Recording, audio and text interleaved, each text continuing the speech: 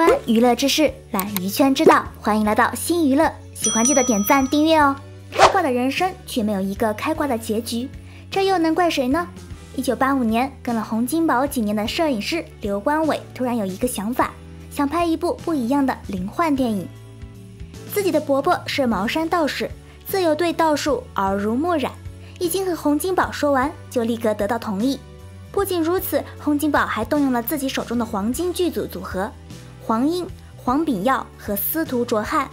但唯一的缺憾就是刘关伟此前对于导演的尝试并不乐观，也严重影响了他的资金拉拢能力。老板何冠昌只允许给他四百五十万成本。也正是如此，阴差阳错下，洪金宝动用了刚刚归入他麾下的林正英，并且给和他有一面之缘的小伙子打了一个电话。电话那头，钱小豪得到了参演僵尸先生的机会。电影上映后大获成功，开启了僵尸大时代。方才还在顺流武侠没落的钱小豪，也搭上了僵尸的顺风车，靠一部电影就跃居一线，从此活了整整十多年。钱小豪的人生前半段是幸运的，自幼习武打擂台，报考邵氏训练班，还未毕业就被张彻破格录取。人生刚要缓速，就遇上了僵尸先生。英叔走后，钱小豪还搭上了李连杰这个大 IP。但后半段的钱小豪就如同多年后拍摄主演的僵尸中的台词一样，有人说电影里的剧情很荒谬，原来人生比电影更荒谬。港片示威直接导致钱小豪的低谷，在百爪挠腮之际，现实媒体报道说，警方抓到一名偷拍女孩裙底风光的色魔。不过，随着新闻的发酵。钱小豪因为偷拍被警察押上警车的事情也随之被曝光。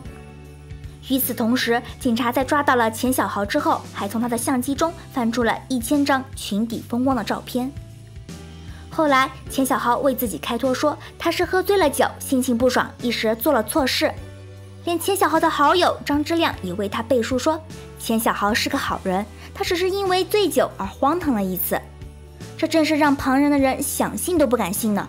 喝酒误事，手一抖，能一下拍出一千张照片吗？一千张照片，日积月累也要攒个数日数月。这种忽悠傻子的开脱，和王导逼动了年轻女孩之后，闭眼开脱说是喝酒误事，被人恶意针对了，有什么区别呢？不过事情的后续还是有些让人想不到。警方在手握证据的情况下起诉了钱小豪，然而因为受害者无法提供有力的证据，所以钱小豪被无罪释放。真是可怜了那些被偷拍了还无法成功维权的穿裙子的女孩子了。回想起这位十三岁打擂台、十六岁做男主角的钱小豪，到最后竟然被一宗这样的罪名身败名裂，真是令人唏嘘。而同样令人唏嘘的是，还有钱小豪的漫漫感情路。隐婚郭秀云，儿子改名改到自己叫不出。钱小豪的第一任妻子名叫郭秀云，十足的大美女。郭秀云家境殷实，母亲的家族世代从事珠宝生意，父亲在当时有一个海洋馆。出生在这个家庭的郭秀云虽比不上李嘉诚、何鸿燊等顶级富豪，但锦衣玉食、穿金戴银，同样也能用含着金汤匙出生来形容她。不仅如此，郭秀云的外形更是出色，她身材挺拔高挑、凹凸有致，脸蛋又清纯可爱，说她是高配的叶蕴仪都不足为过。一九八五年，当秋生在《僵尸先生》里迷倒了女鬼的时候，同样被迷倒的还有这个集万千宠爱于一身的郭秀云。和其他女孩一样，爱美又自信地参加了华裔小姐选美竞赛，并且叫上了自己的朋友李嘉欣。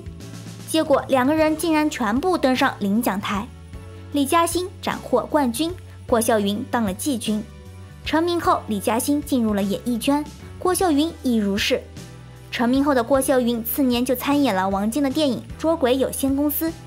电影中，郭秀云不仅初次摄影就有大量出镜，王晶还特意让郭秀云与邱淑贞同台飙戏。健美专家王晶诚不欺我。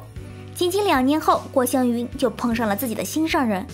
那时的钱小豪正值巅峰，刚刚拍摄完《僵尸至尊》，还未遇上李连杰，也没喊出那句“我命由我不由天”，女追男隔层纱。更别说郭秀云这等极品了。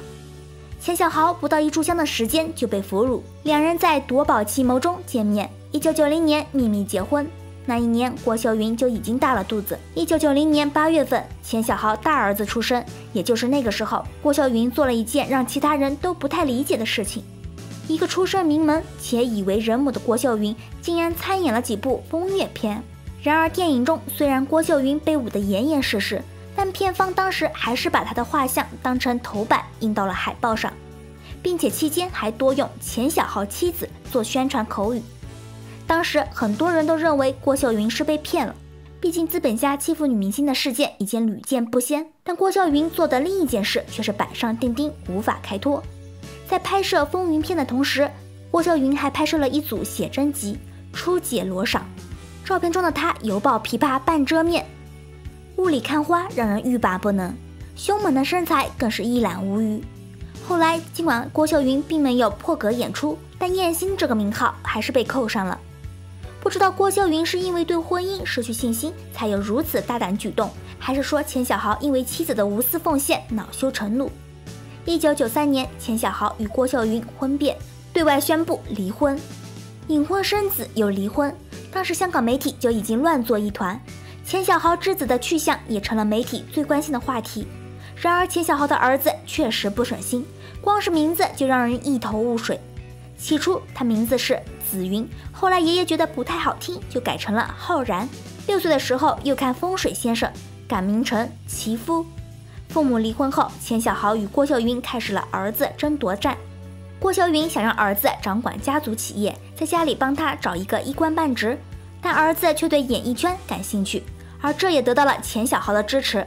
后来，钱小豪又将十四岁的儿子名字改成钱景峰，把他送到了韩国当艺人训练生，进口到香港出道。二零零八年，郭笑云又以借有助他读书成绩为名，将其名字改成了有前途。后来，随着郭笑云嫁给了钢铁大王庞鼎元之子庞杰之后，由于庞杰没有儿子，所以又改名成了庞景峰。兜兜转转，这一圈改名不仅绕晕了所有媒体，就连父亲钱小豪也曾感叹：“我现在都不知道我儿子叫什么名字。”在两个人闹得不可开交的时候，钱小豪曾颇为惋惜地说道。由于这段失败的婚姻，导致自己丢失了与儿子增加感情的机会，成为了自己的遗憾。不过郭秀云嫁给庞杰之后，两人的动作似乎就平息了，关系也缓和了许多。